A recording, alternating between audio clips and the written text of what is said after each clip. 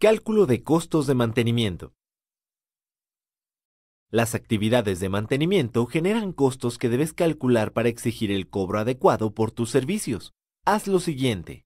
Revisa en los tabuladores generales de salarios mínimos la cantidad necesaria para contratar a un empleado y multiplícalo por el número de trabajadores que integran la cuadrilla. Si el mantenimiento dura más de un día, multiplica el salario de la cuadrilla por el tiempo requerido. Consulta a los operarios más experimentados para determinar la cantidad de materiales que se emplean durante el mantenimiento, pues su experiencia hará que tus cálculos se apeguen a la realidad. Si existen piezas que deben cambiarse, consulta en el almacén si hay en existencia. Si no, consulta su costo en la tabla general de precios unitarios. Cuando sean piezas genéricas, consulta su precio por mayoreo en tiendas especializadas, pues podrías utilizar esas piezas en otros equipos, como tornillos, tuercas y rondanas. Al final, suma todo y aumenta el 10% del total. Esta cantidad servirá como un saldo disponible ante imprevistos.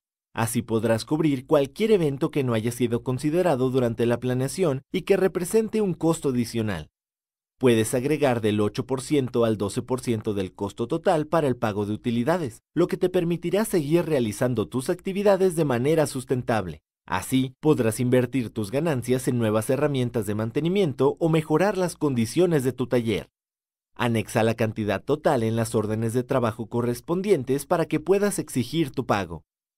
Los costos de materiales pueden variar debido a las condiciones del mercado, por lo que debes revisar constantemente los tabuladores actualizados.